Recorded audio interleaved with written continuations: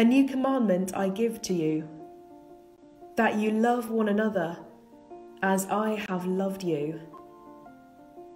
These are Jesus' words to his disciples and afresh to us today, this Maundy Thursday of Holy Week, as we remember how Jesus came as a servant king and what this means for us today.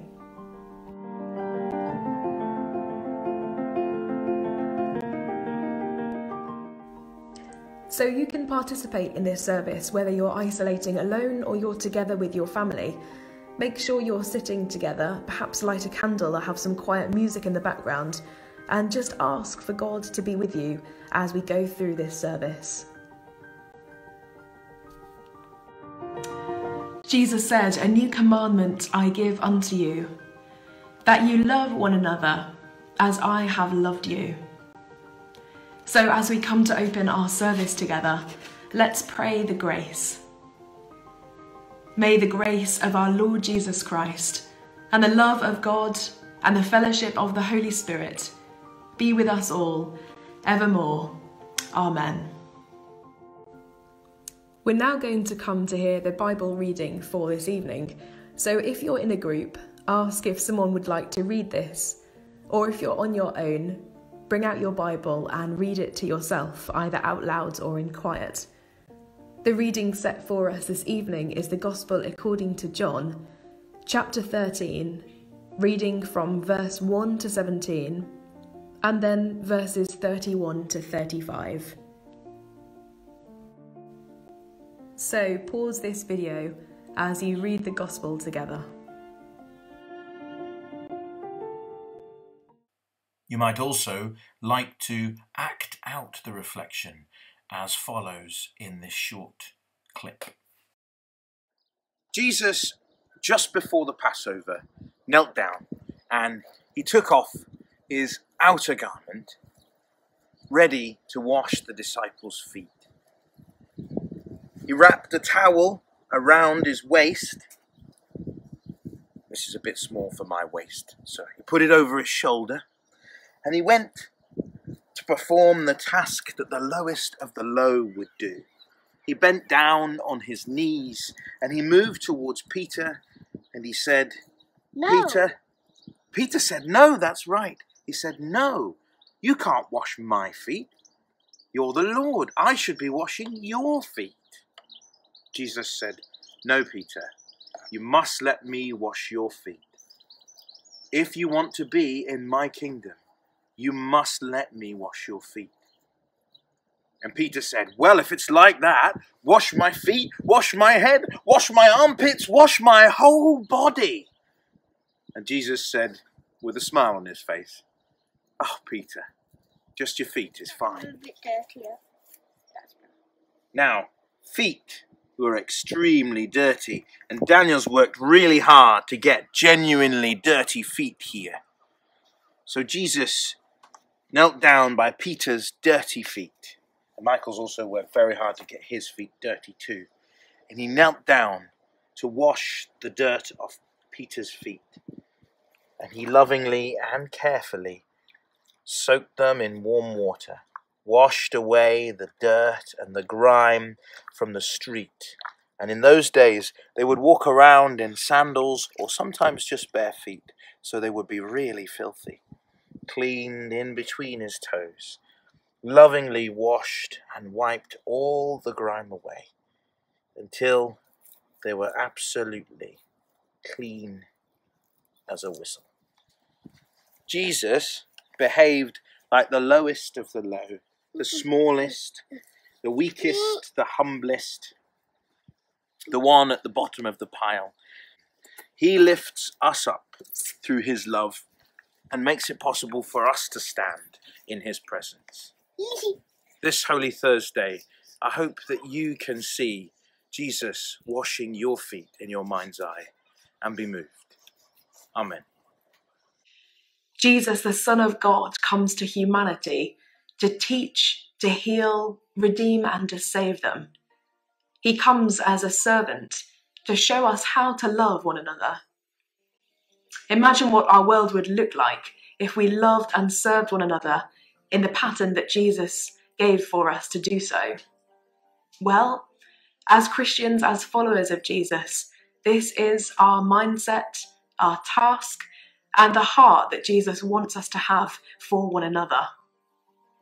However, it's easy to forget this, and it's easy to go wrong. Jesus said in the reading that we've just heard, Unless I wash you, you have no part with me.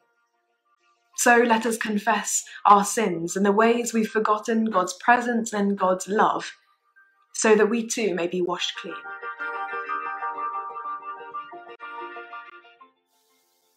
Jesus, you loved us in the beginning, and you loved us to the end.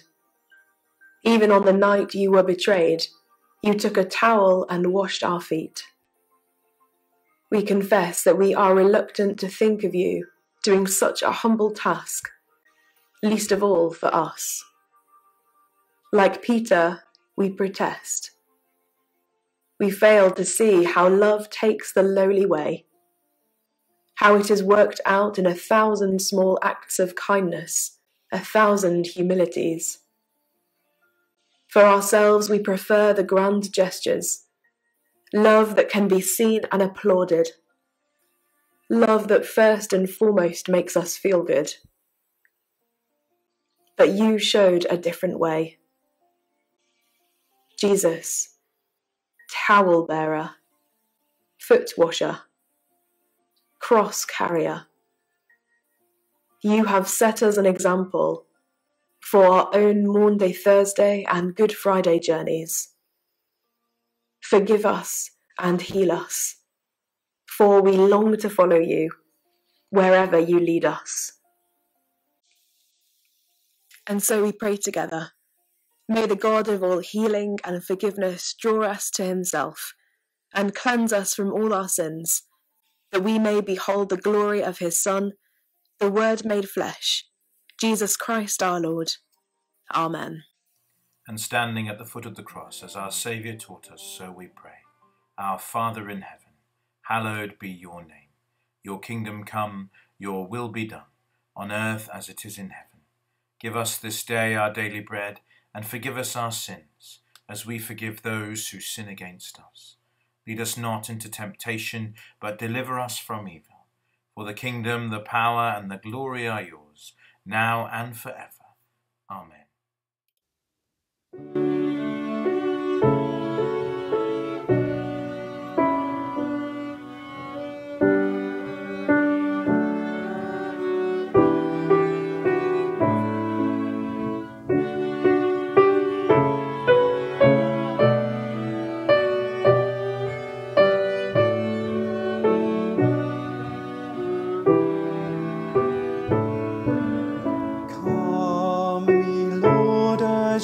calmed the storm. Still me, Lord, keep me from harm.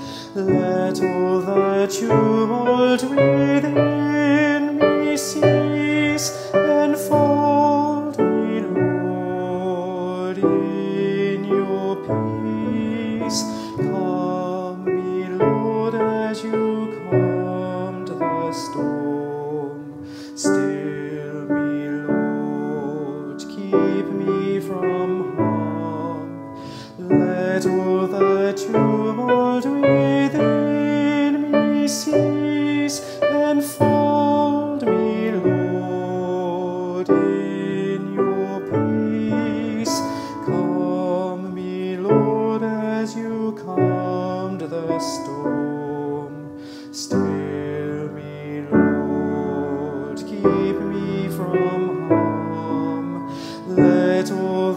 tumult within me cease, enfold me, Lord, in your peace. Come me, Lord, as you calmed the storm. Still me, Lord, keep me from harm. Let all the tumult within cease, enfold